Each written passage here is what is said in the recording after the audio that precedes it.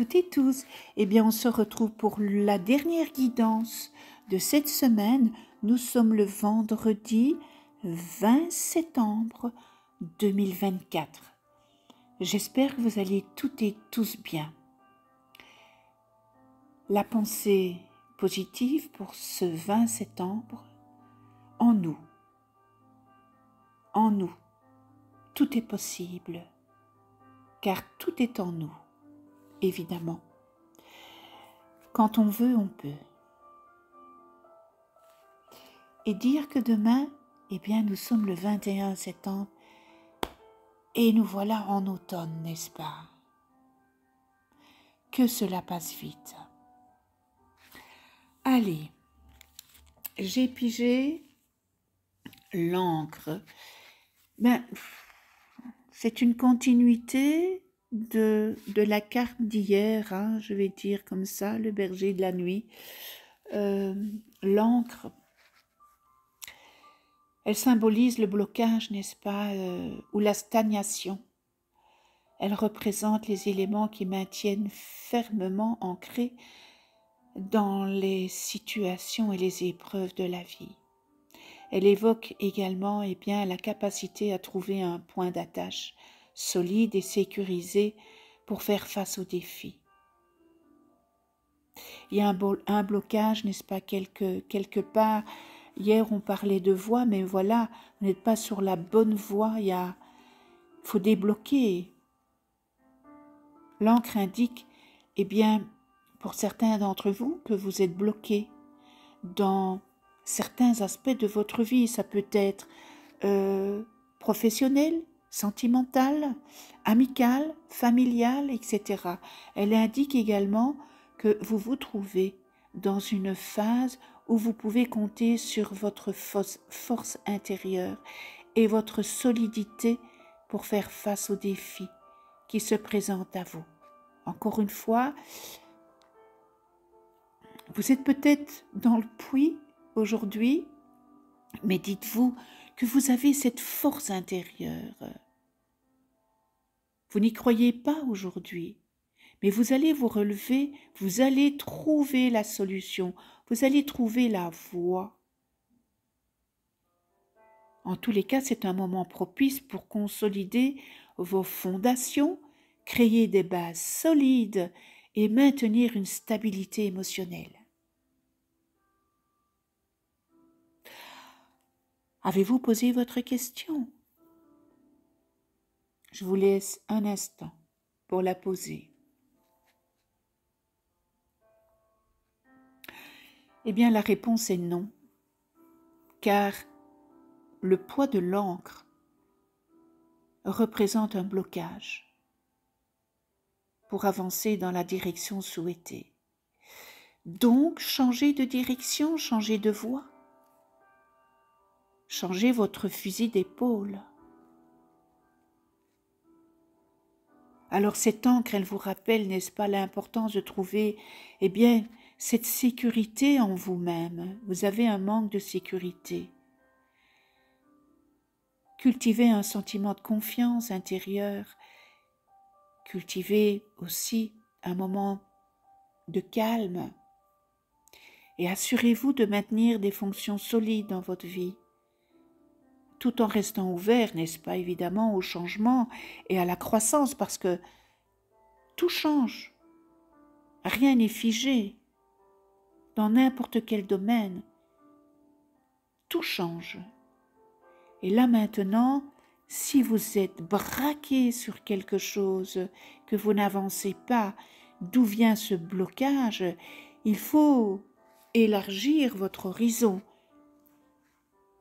Peut-être demander conseil aussi à une personne qui est très proche de vous.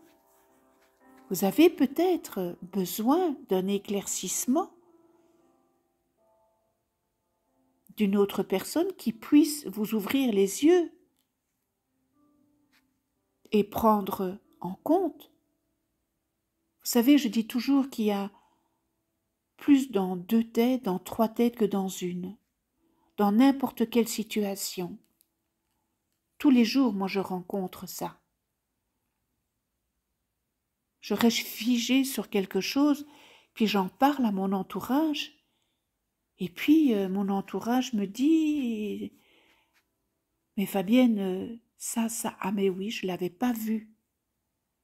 Et ça me permet, eh bien, de changer ma vision des choses. Et ça débloque bien souvent les blocages que moi-même je, m'étais mise. Que je m'étais mis, pardon. Je m'étais mis ces blocages moi-même parce que je n'avais pas une perception. Voilà. C'est peut-être ça qui vous manque. Avoir la vie de, de quelqu'un.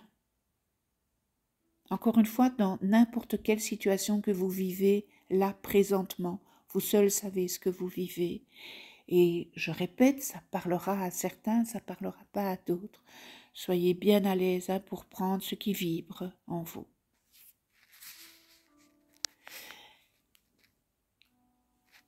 Quand on veut, encore une fois, on peut. Et puis, quand il y a un blocage, quand il y a une problématique, il y a une solution. Tout problème a une solution. Et lorsqu'il n'y a pas de solution, c'est parce que c'est un c'est un problème qui vient de notre tête. Donc voilà, à vous de voir, n'est-ce pas, ce que vous vivez. Je termine avec le petit message euh, des, anges gardiens et aujourd'hui, eh bien, j'ai pigé la carte gratitude, merci. Merci, voici le cœur reconnaissant d'une personne que tu as récemment aidée d'une manière ou d'une autre. Moi, ton ange gardien, je veux également te remercier pour l'amour inconditionnel qui émane de toi envers la terre, l'humanité et tout ce qui vibre autour de toi. Merci, merci, merci. Tu es béni pour l'éternité. Puisse la paix, la grâce et l'amour te guider tout au long de ton chemin sacré. Mais voilà, gratitude, n'est-ce pas, à nos anges. Petite anecdote, pour le moment, je ne suis pas très bien santé et je fais beaucoup de, de mantras avec l'ange Aladia. Et je sors de mon living pour aller dans le garage. Le garage fermé, une petite plume d'ange qui était dans le garage. Vous savez, ces petites plumes de duvet, hein c'est pour ça qu'on les appelle les plumes d'ange. Eh bien, ça veut dire que les anges sont avec moi et que voilà les, méditations et les, et les mantras que je fais avec, euh, avec l'ange euh, Aladia et Seiya, parce que je travaille avec deux anges, eh bien, sont avec moi et je, et je travaille aussi euh, avec l'archange Raphaël.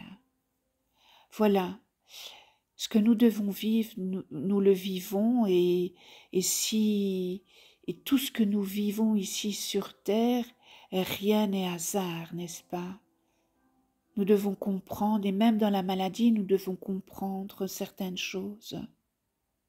Donc voilà, je ferme la parenthèse et je vous souhaite une excellente journée, un très très joli week-end dans l'amour, dans l'empathie, la bienveillance, la tolérance, le rire, la joie. Et puis on se retrouve euh, pour une prochaine capsule et d'ici là, je vous embrasse. Portez-vous bien et je vous dis à très vite.